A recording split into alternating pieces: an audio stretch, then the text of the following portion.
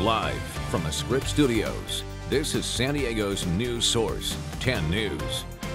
There's a lot of excitement down at the San Diego International Auto Show. That's right, hundreds of new vehicles, concept cars, and interactive displays. So let's check in with our floor reporter live at the 10 News Experience.